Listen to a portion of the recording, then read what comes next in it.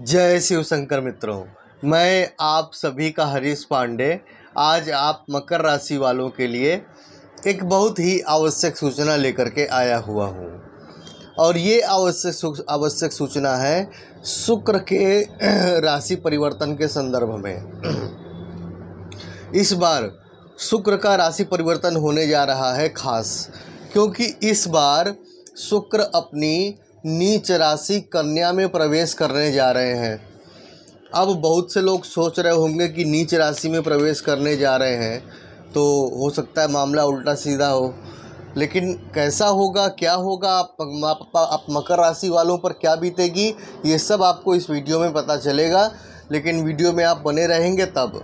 तो वीडियो में आप सभी लोग बने रहिए। वीडियो शुरू करने से पहले एक आवश्यक सूचना कि यदि आप मेरे माध्यम से अपनी समस्याओं का समाधान चाहते हैं, अपनी कुंडली दिखवाना चाहते हैं तो आप मेरे व्हाट्सअप नंबर पर मैसेज करें। मेरा व्हाट्सअप नंबर है eight five four double zero nine six seven three zero ये नंबर मैं डिस्क्रिप्शन बॉक्स में भी दे दूँगा। तो मित्रों, चलिए वीडियो की करते हैं शुरुआत। कौन है शुक्र?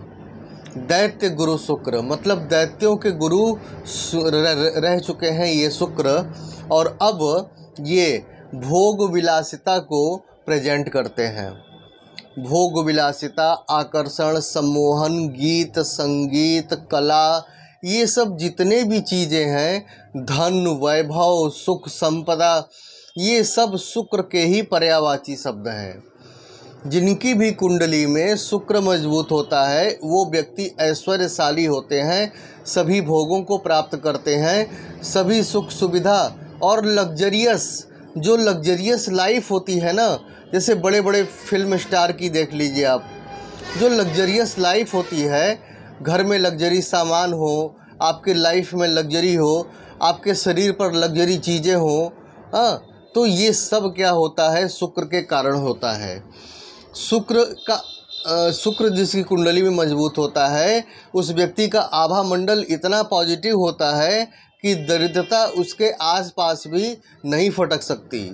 शुक्र जिसका पॉजिटिव होता है, उसे अगर वो अगर वो पुरुष है तो उसे स्त्रियों का सुख मिलता है और अगर वो स्त्री है तो उसे पुरुष का सुख का सुख मिलता है।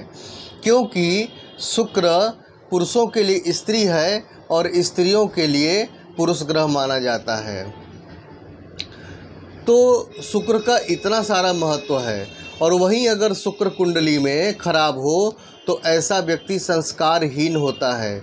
उसे अपने गृहस्थ जीवन का सुख नहीं मिल पाता है और जीवन में सुख सुविधा के साधनों की जो कमी होती है वो हमेशा उसे खलती रहती है। उसे अपने विपरीत लिंगीय का सुख नहीं मिल पाता है। साथ ही उसके चेहरे की आभा दबी हुई होती है, उसका सुंदरता, उसका, उसकी सुंदरता दबी हुई होती है।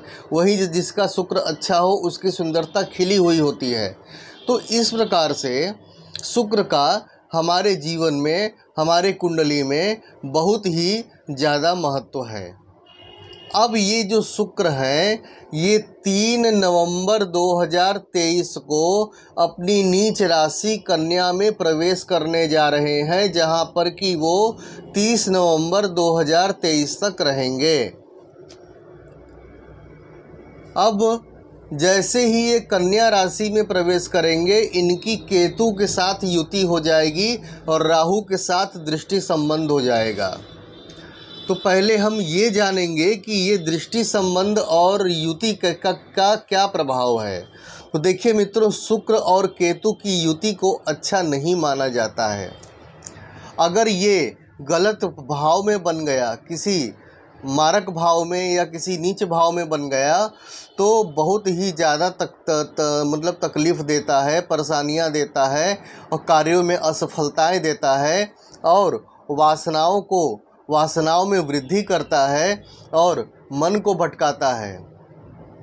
लेकिन लेकिन यहाँ पर अच्छी बात यह है कि केवल शुक्र केतु की युति होती तो ये परिणाम होते, लेकिन राहु की दृष्टि अपने मित्र केतु पर पड़ रही है।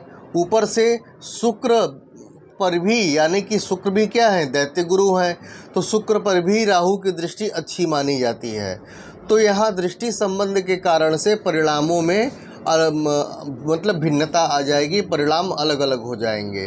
तो चलिए अब जानते हैं कि आप मकर राशि वालों को क्या क्या मिलने जा रहा है इस शुक्र राशि परिवर्तन से।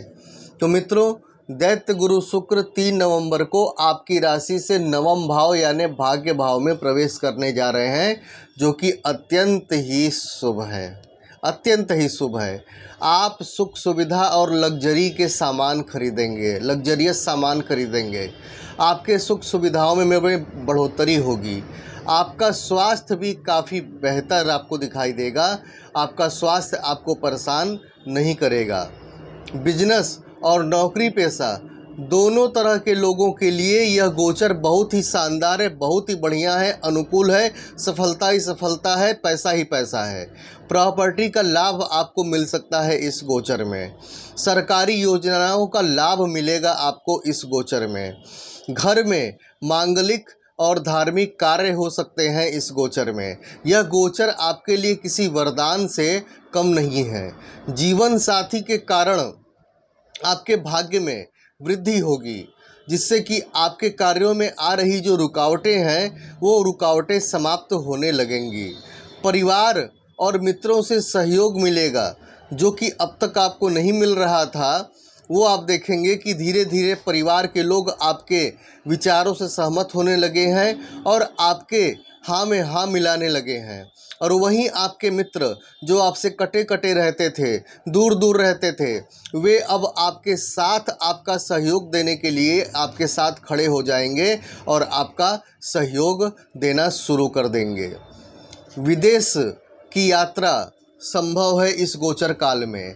और इतना ही नहीं एक बात ये भी बतला दूँ कि विदेश की यात्रा ज़्यादा संभव है और विदेश की यात्रा के साथ साथ आप अपने देश में भी कोई भी यात्रा अगर करते हैं तो वो यात्रा आपके लिए सफलतादायक होगा, सुखदायक होगा, किसी प्रकार की चिंता की कोई बात नहीं है। यात्रा से आपको लाभ मिलेगा।